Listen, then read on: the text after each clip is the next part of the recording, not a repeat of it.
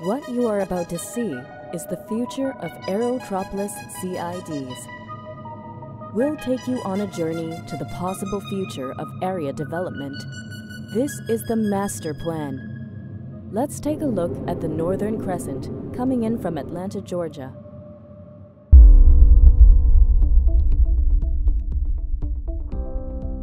Airport areas have seen the highest levels of net absorption, vacancy decreases, and rent growth. North Crescent is just one of the many CIDs throughout the Fulton County area. Throughout the North Crescent area alone are dozens of successful businesses. What are CIDs? CIDs, or Community Improvement Districts, is a district comprised of commercial and industrial property owners who have come together to voluntarily contribute to improvements in an area through additional property tax dollars. The additional property tax rate is determined by a board of directors as a representative of the property owners in an area. So I work for Duke Realty Corporation. Duke Realty, we're a national publicly traded real estate investment trust. And we have um, approximately 500 acres um, at the intersection of Camp Creek and 285. And so we have been invested in this community for over 10 years, um, building this build this business park from five buildings to now 18 buildings. And so what was critical for us is still addressing a lot of the traffic and infrastructure issues for our tenants, making sure they can get out, their visitors can get out, and their businesses can function. Also to address a lot of the public safety issues that our tenants are dealing with in the area. So those are our two major issues for getting involved from the very beginning. Why were Aerotropolis Atlanta CIDs created? The Aerotropolis Atlanta CIDs are comprised of two CIDs, one in Fulton County and one in Clayton County. The CID in Fulton County was created in 2014 the one in Clayton County in 2015. Both CIDs saw a need for additional investment in the area surrounding Hartsfield Jackson Atlanta International Airport. They saw a lot of potential for additional commercial and industrial development in the area, but realized that more needed to be done to make the area attractive. My company is Chick fil A. I work in their corporate headquarters right off Buffington Road. And the reason why we joined is that Chick fil A has always had a history of wanting to participate in the communities. We are actually a franchisor, so we have close to 2,000 restaurants, and we expect our franchisees to do the same. They, we want them to get very active in their communities and support the communities and become members of Rotary and members of the business associations, etc. And we feel a similar responsibility in our community. So we're very active in trying to improve our district and, and do whatever we can to support the community. In 10 years, if, if, if the millennials were saying, man, I want to really be in Aerotropolis, that would be something. That, that, to me, that would be a huge win for us if we could accomplish that. Northern Crescent. The Northern Crescent covers portions of Hapeville, East Point, and College Park. Property owners located in this area include, but are not limited to, Woodward Academy, Delta, Wells Fargo, and Porsche. Three opportunities for activity centers and continued development were identified in downtown College Park, along Virginia Avenue, and in downtown Hapeville.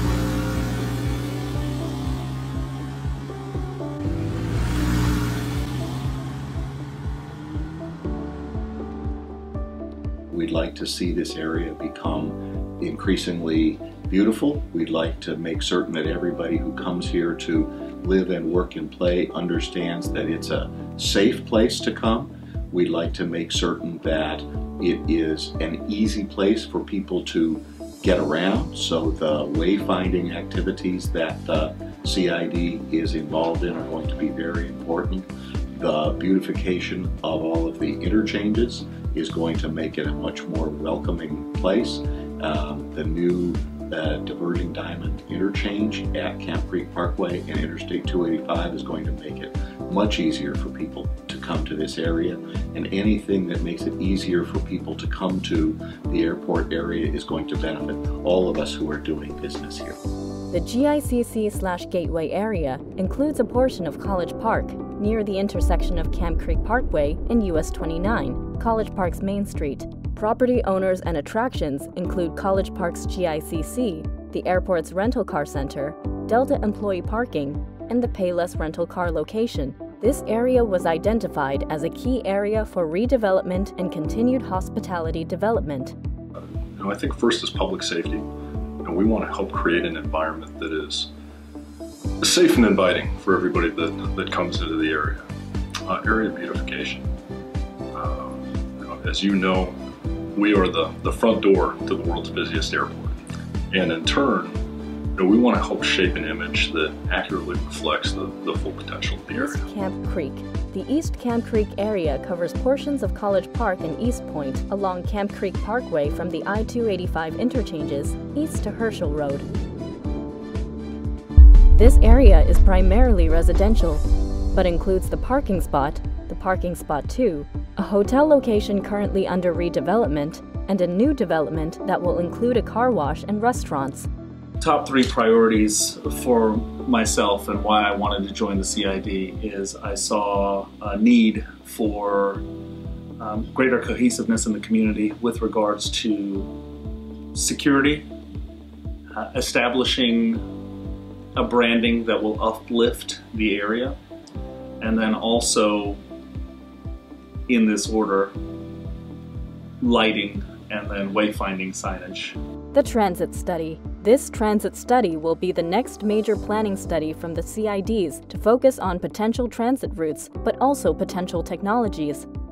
As technology continues to advance, more efficient and cost-effective transit options are coming to the market the CIDs are interested in implementing these cutting-edge technologies to the world's most traveled airport and give passengers an experience in a world-class city. Cowart Lake The Cowart Lake area covers the unincorporated Fulton County portion of the Aerotropolis Atlanta CIDs. Most of this area is consumed by the Piedmont Driving Club as well as undeveloped property. Two areas for development were identified, one at the intersection of Camp Creek Parkway and Fairburn Road, and the other at Camp Creek Parkway and Butner Road.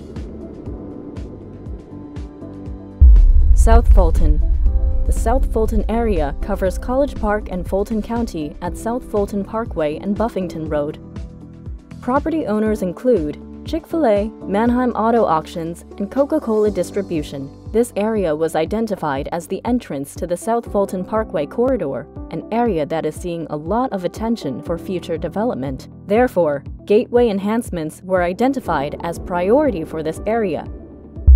West Airport The West Airport area covers a portion of College Park along US 29, Riverdale Road, Old National Highway, and Sullivan Road. Property owners include hotel and distribution slash warehousing, including but not limited to Atlanta Airport Marriott, Sheraton Atlanta Airport, Cisco, and Buckhead Beef.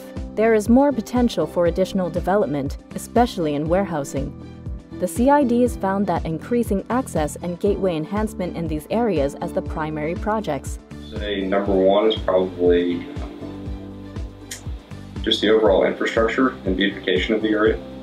Uh, the road network, as in a lot of places in Atlanta, is in need of a lot of work and updating. And a lot of other places in Atlanta that's already occurred. It hasn't really happened that much in around the airport as much as it needs to. Um, so the CID has already taken steps to address that with Camp Creek Interchange and a few other things. And then beautification, we started cleaning up the parkway already and cleaning up signs, which has made a, a big change already. Um, lastly, I think just the overall effort of people coming together in the area and working towards common goals of not only infrastructure but also security and other aspects that are important to everybody.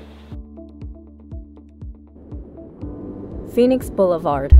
The Phoenix Boulevard area covers a portion of College Park and unincorporated Clayton County along State Route 314, also known as West Fayetteville Road, Phoenix Boulevard, and Forest Parkway. Property owners include OA Development and Ackerman and Company to make up the Phoenix Boulevard Office Park. The master plan process found a need to create an activity node to support the offices in the area. In order to do so, projects include streetscaping and gateway enhancements. Well, we worked with our neighbors and friends at Ackerman and Company uh, on trying to get more leasing activity in the marketplace, and we found that the marketplace was sorely lacking in terms of identity, in terms of beautification, in terms of the way it was addressing public safety issues.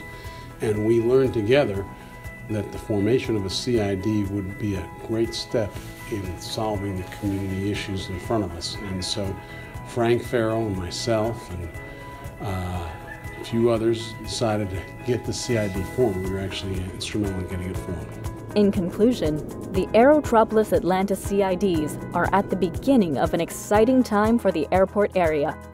This area has the potential to be a first class community that supports new business and provides amenities for its employees, residents, and visitors. The CIDs are continuing their partnership with the Aerotropolis Atlanta Alliance to join forces and provide services to the surrounding communities in order to attract more business, increase the workforce, and ultimately provide a thriving community